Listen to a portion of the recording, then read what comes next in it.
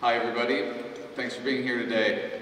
My name is Jesse Gary. I'm the CEO of Century Aluminum Company. We're the largest producer of aluminum in the United States, and we operate the Goose Creek smelter here in South Carolina. Very proud to be operating here in the Low Country, and it's my great honor today to introduce Governor Henry Dargan McMaster of Columbia. He became the 117th governor of South Carolina on January 24th, 2017, following then Governor Nikki Haley's appointment as the United States ambassador to the United Nations. He was elected to a full term as governor in November of 2018 and reelected in November of 2022. Governor McMaster has led a strong and vibrant South Carolina economy, announcing more than 86,400 new jobs with over $36.5 billion in new capital investment in the state. Governor. Well, I appreciate everybody being here. This is a this is a good announcement today. Century is putting more money into their operation. Uh, as a, you know, it is a it's a large operation, and Mr. Gary mentioned, uh, reflected in his remarks, is prospering, and that's a good thing for South Carolina. It is, is great news when a, an industry or a business moves in or opens up, but it's equally great news when one is expanding, is doing well, and has confidence in our state and in our people and in the workforce. And one of the things that is making this possible at Century is our technical college system and our workforce. When you combine the people of South Carolina with the education and training that they need, there's no job that they can't handle, and people all around the world are discovering that. So we're on the move. This is just one more example, and I would remind everyone that aluminum is, important for a lot of things. We must have 30 businesses in our state that deal with aluminum, but it is important for our national security. And there's nothing more important right now than our national security. So here again, we in South Carolina with our eight major military bases, all of the things we do, the great prosperity that we're having, we're having a, an enormous impact, an outsized impact on the national security of our nation. So it's a pleasure to be here for this announcement today, and we look forward to more.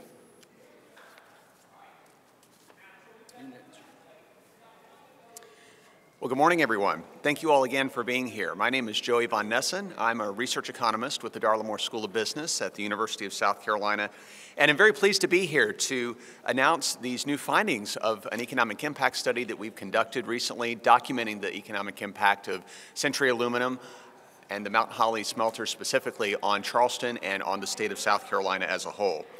Now, as many of you know, of course, manufacturing has been one of South Carolina's primary economic engines for years, so this is uh, certainly nothing new in terms of looking at manufacturing's contribution to our economy.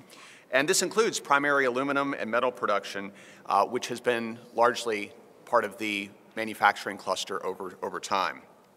And although aluminum manufacturing has faced headwinds over multiple decades due to international competition, aluminum production at Century's Mount Holly smelter has nevertheless remained a significant economic driver in the local region. And this is especially true in recent years. Uh, so for example, since 2016, production activity at the Mount Holly smelter has increased by about 25 percent, which has resulted in a correspondingly higher rate of local purchasing activity on the part of the, the Mount Holly smelter. And this has in turn led to increased levels of job creation and income creation for tr local Charleston residents and for South Carolina residents overall. So our goal in this study was to specifically document the current economic impact of Century Aluminum and the Mount Holly smelter on both Charleston and South Carolina. So how do we do this? How can we estimate the economic impact of Century Aluminum? Well, there are four principal conclusions that come out of the study that we have recently completed that emerge from the results uh, and from the estimates that I want to share with you this morning. First, we can observe that Mount Holly currently produces about 166,000 metric tons of aluminum annually. And this production activity requires a direct employment base of 455 workers at the smelter, at the Mount Holly smelter itself. And we estimate in this study that these business operations generate a total economic impact of about 773 million per year. The total economic impact of Mount Holly is approximately 773 million each year on the state of South Carolina. Now, this impact is a reflection not just of the operations of Mount Holly itself, but also of the new demand that Mount Holly creates for local materials and services from the many in-state suppliers that it works with, as well as all the local businesses supported by the employees as they spend their wages in the local economy with a variety of, of local businesses. Second, Mount Holly supports a total of 1,439 jobs across the state of South Carolina that go along with that $773 million annual economic impact. And this is far more than those 450 jobs at the smelter itself, of course.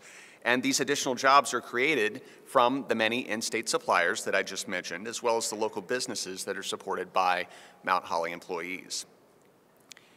And we can specifically say that the employment multiplier effect associated with Mount Holly is 3.2, meaning that for every 10 jobs created at the Mount Holly smelter, we see an additional 22 jobs created elsewhere in South Carolina for a total of 32 jobs. And this employment multiplier is very important. Uh, it's a very important summary statistic that gives us a good snapshot of what this impact means for South Carolina, because it's nearly twice the rate or rather nearly twice as high as that of the average industry multiplier in South Carolina, implying that Mount Holly generates a higher return on employment for the state than most other businesses of comparable size. So that begs the question as to why Mount Holly would generate such a high multiplier effect relative to many other industries. Because remember, the multiplier effect is essentially just a measure of local spending. To what degree does the Mount Holly smelter uh, purchase materials locally?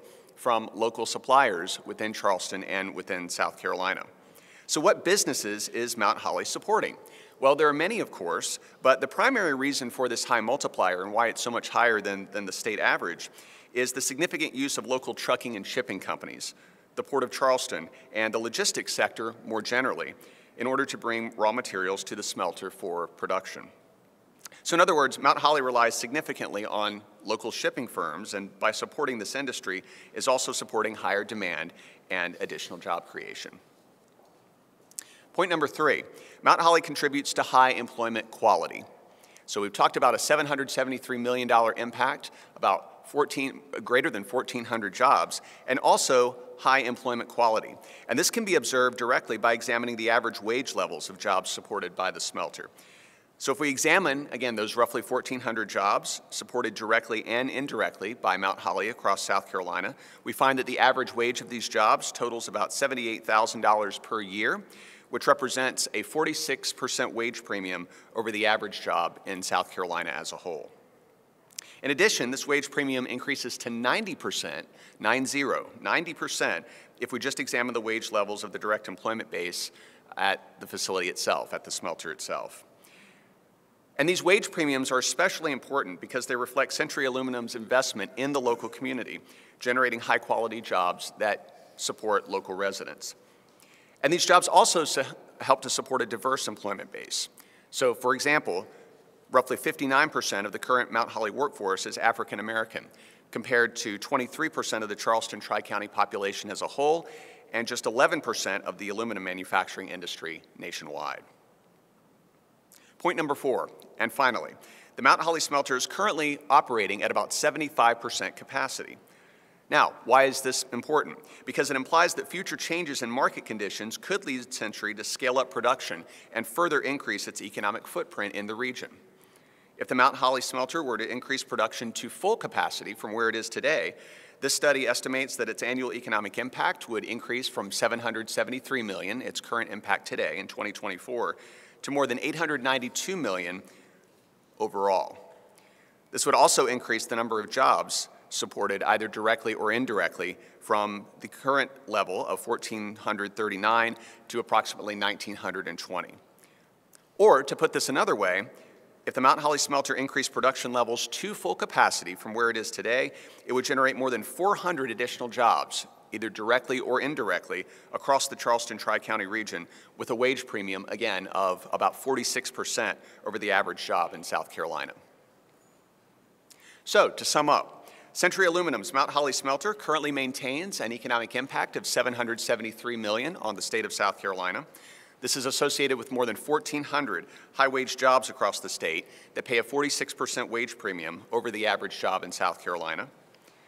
This level of job creation also reflects Century Aluminum's investment in the local community, generating high-quality jobs that supports local residents and a diverse employment base. So these results clearly show that Mount Holly plays a vital role in the long-run economic health, not only of Goose Creek, but also the broader Charleston Tri-County region and the state of South Carolina as a whole. Thank you all very much.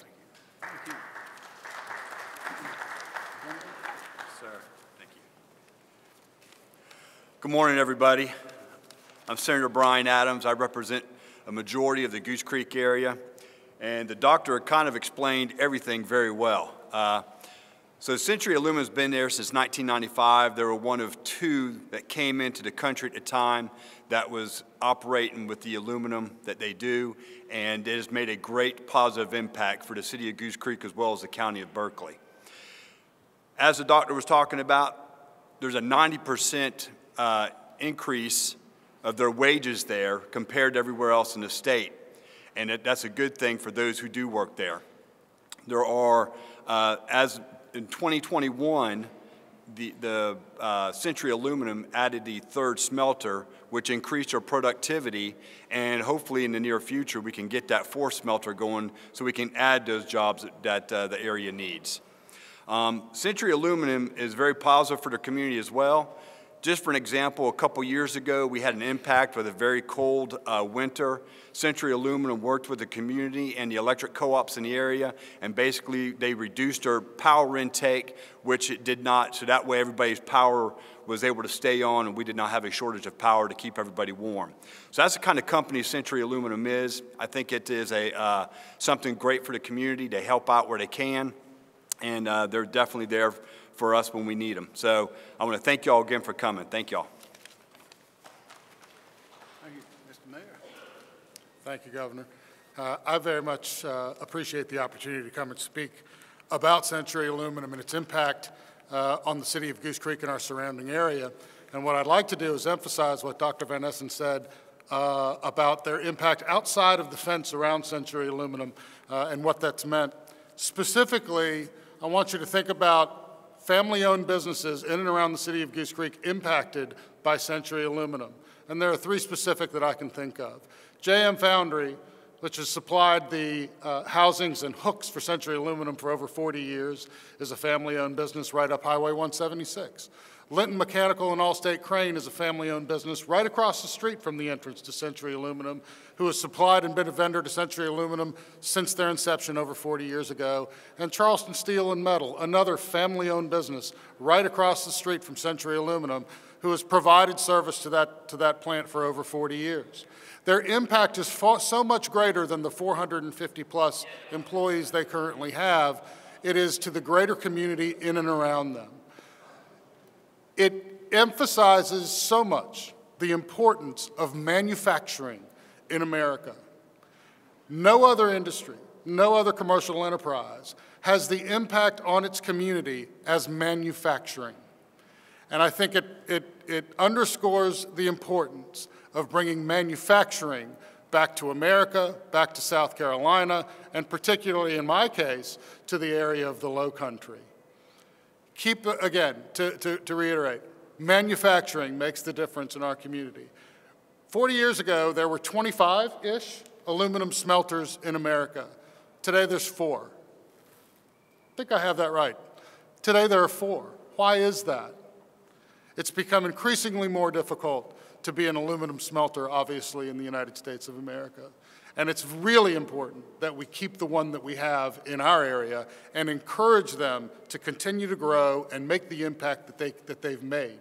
So I thank them very much for their commitment. Uh, thank them very much for sticking through the difficult times, and I look forward to their continued growth and getting back to their full production. Thank you all. Thank you. Good morning, everybody. My name is Matt Aboud. I am the Senior Vice President for Strategy and Business Development at Century Aluminum, and it's an honor to be here today. I'd like to thank Governor McMaster for your support and the entire state of South Carolina for allowing us to call Goose Creek home for over 40 years. During that time, the Mount Holly smelter has employed thousands upon thousands of skilled workers to produce this fantastic metal. Aluminum is lightweight yet strong, it's infinitely recyclable, and is used to make so many of the products in our daily lives. From beverage cans and foil, to windows and doors, to electric transmission cables, to cars and airplanes, aluminum keeps your family safe and our country safe. It truly is the metal of the future. However, we can't take this for granted. During the 21st century, China has grown its aluminum smelting business from nearly nothing to become the world's largest producer of aluminum, making more than half of the complete world's aluminum needs today. They did this with government support and subsidies, and then flooded the Western world with cheap exports, driving virtually everyone out of business. When Mount Holly opened its doors in 1980, the United States was the world's largest producer of aluminum, with 30 smelters in operation.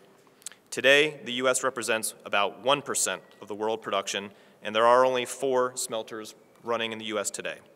Proudly, Mount Holly is one of them. The good news is that over the last 15 years, our industry has started to fight back. Several aluminum trade groups have fought for and won trade protections. Today, there are anti-dumping duties on China and other countries across a wide range of products. But bad actors continue to find ways to, ev to evade these protections, and today, at this very moment, there's another trade case pending in Washington. And thanks to the Trump administration, who in 2018 introduced Section 232 tariffs to protect our national security, we have been trying to level the playing field. But the fight is far from over. Most recently, the Russian invasion of Ukraine sent energy prices skyrocketing.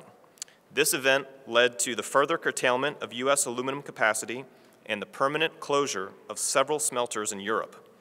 Yet, during this time, the Russian monopoly producer of aluminum has continued to produce unabated and is now flooding the international exchanges with its metal as, co as consumers with a moral compass have increasingly turned their backs on a producer who is openly supporting the Russian war machine. But the outlook for U.S. aluminum and the Mount Holly smelter is bright. The global megatrends of lightweighting vehicles, of making our electricity grids more robust, of making our homes more energy efficient, and the moving away from single-source plastics all support the future consumption of aluminum. The country needs Mount Holly. In fact, the country needs more Mount Holly. We recently entered into a new three-year power agreement with our partners at Santee Cooper, and when the economic conditions are right, we hope to bring Mount Holly back to its full production capacity once again. I'd like to thank Dr. Von Nessen for his economic impact study, and Century is proud to employ the nearly 500 workers and help create the nearly 1,000 additional indirect jobs. Our wages are over 40% above the average wage in South Carolina, and we provide an income that supports families in the low country. We are proud that Mount Holly is the most diverse aluminum smelter in the country, with almost 60% of our workers being people of color, and we are proud to continue to grow this facility and this industry. We appreciate the support of our communities, Goose Creek, Berkeley County, and the state of South Carolina. Together, we're going to continue to grow. Thank you very much.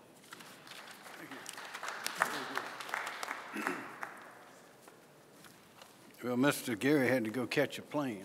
He, he's, he's, he's working. I bet you weren't expecting to hear how we were so directly connected with what's going on in Europe and Russia today, were you? But that's the way it is. That's why it's so important for us to have these industries that are, that are, are strong. And I remind you again, as the mayor said, we, we are, this is a manufacturing state, among other things. Despite all the natural beauty and all of that, we make things. And uh, we make fighter planes in Greenville, passenger planes in North Charleston, and vehicles all over the state, and batteries and tires and everything else. But the fact that we, that we are a manufacturing state, among other things, produces that multiplier effect in all of these other careers for people. So this is, this is very important, and this expansion today is a sign of confidence and a, a sign of a, a great future for our state. Does anyone have a question?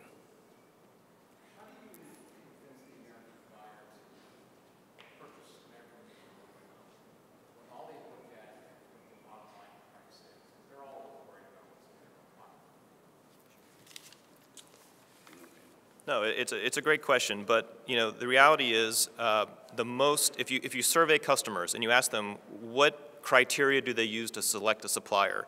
Uh, the number one criteria always is on-time delivery. You can't produce if you don't have it. And the aluminum industry can have a very, very long supply chain. If you're buying aluminum from the Middle East, you have to order it four months in advance. It has to get put on a boat. It gets transshipped at some destination. It gets to a port here, gets offloaded. It takes a long time. If you buy from us, we can take the order and in three days deliver it to you. So it's really about the supply chain. It's the, uh, it's the, it, it's the guarantee of supply. It's the um, responsiveness. And of course, the closer you are, the more uh, likely you are to collaborate together on developing products for your customer. Mr. Food, I also have several questions for you. Michael Higdon down in Charleston. Uh, A very significant economic impact for not only South Carolina, but the Low Country area. Uh, You talked about hundreds more jobs. That means more, hundreds more people coming to the Goose Creek and Berkeley County area. Can you tell me about the number of investment, dollar-wise, that you're going to be investing in the infrastructure of Charleston? Well, when we restarted the uh, 25, so the, the, the facility had been running around 50% production capacity up until uh, 2019, 2020. We invested over $75 million to bring the remaining, to- to bring 25% of it back online. So we're currently running at 75% capacity. And we would say that to bring the remaining 25% on would take about the same level of investment. But of course, that's just the direct investment in getting the equipment needed and the materials to bring the facility online. Of course, in addition, we'd have to hire uh, several hundred more employees, and with all the associated um, spending required to get them trained and get them onboarded, you know, we're, we're talking somewhere in the neighborhood of approximately $100 million. And when it, uh, can you talk to me about the logistics of getting that fourth smelter up and running? Well, you know, the, the smelter operates at a very high temperature, and so the, the challenge is that when you, when you stop a smelter, everything cools to room temperature and then it becomes frozen. So you have to literally disassemble everything. It'd be like, um, you know, if you were making concrete and then all of a sudden let it, let it harden, you know, you have to drill it out. So, you know, when you, when you stop a facility, you almost then have to restart from scratch. So this requires us to bring in all sorts of materials to line our, what we call pots, and it requires us having um, a series of anodes and cathodes because we're, we're creating an electrical current inside the pots. So it's, uh, it's a lot of materials, it's a lot of uh, long lead time materials, and then you have to go uh, uh, pot by pot by pot, so it takes a lot of time as well, and you need a lot of workers who are trained in order to how to do that. I'm sure you're aware back in September, there were four uh, instances where there were emissions of aluminum dust into the community. What would your word be to the community of Goose Creek and Berkeley County who were impacted by that, about why they should trust that this fourth smelter up and running uh, will be controlled properly? Sure. Well, we worked very closely with uh, Mayor Habib on that, and we had some town hall meetings, and we actually have a website right now which is still being updated with, uh, with any relevant information. But due to an ongoing legal issue, we just can't comment further on that. So, so no word to the community about why they should trust Century Uh, we just can't comment on that. Yes. Yes, sir. obviously a number of state officials, including the governor and utility officials, are kind of focusing on it. Is there enough generation of power in South Carolina? How much is that factored in? Oh, I mean, it's, it's not just a, a South Carolina problem, it's a national problem. I mean, our grids have become more and more stressed due to increasing demand and the, the transition we are getting away from fossil fuels and more onto renewables. So uh, this is not a unique situation here, but for us, uh, we are a very, very large consumer of power. So of course, um, in order for us to feel comfortable to restart, we have to know that that power is available. And as, um, as uh, Senator Adams mentioned, I mean, there are times when there are uh, weather issues and the grid becomes really stressed. And for us, we have a unique challenge in that we can't give away the power for more than a couple hours before our molten aluminum becomes frozen and becomes hard and, and really destroys parts of the plant. So we have some flexibility and we work with uh, Santee Cooper on being able to contribute that energy back in times of emergency, uh, but there's a limited duration as to how long we can do that. So the, um the consistency and availability of power is, is key for us. I have a couple questions for Mayor before Senator Adams go wants to take it about the, obviously, again, a huge economic uh, investment in our area. Uh, Can you talk to about how you're handling the massive growth that we're seeing and how you're going to handle it with the in- investment of these Thank you, Senator. Well, I think I would go back to what Mr. Aboud said, talk about where Century Aluminum was uh, and, and where they would like to go. They were an employer of over 600 people. Uh, and when they went to half capacity, obviously, roughly half of those employees uh, left the company. So them going back to full capacity, Michael, doesn't necessarily make an enormous impact on the infrastructure needs of our area. Uh, in that a lot of those employees, I can promise you, just because I know a lot of them, would love nothing more than to go back to work at Century Aluminum. So the opportunity is for folks to go back rather than new folks coming in necessarily for Century Aluminum. To your larger point, um, infrastructure will never catch up with growth. It's a good problem to have. And I've been to communities in and around South Carolina who are not experiencing the growth problems that we're experiencing in Goose Creek, Berkeley County, and the greater Charleston area. I would much rather deal with the growth problems that we have rather than the shrinking problems in those other communities have. To that end, it's how we develop, how we grow, uh, and we have to go back to a growth that makes sense and creates less impact on our infrastructure.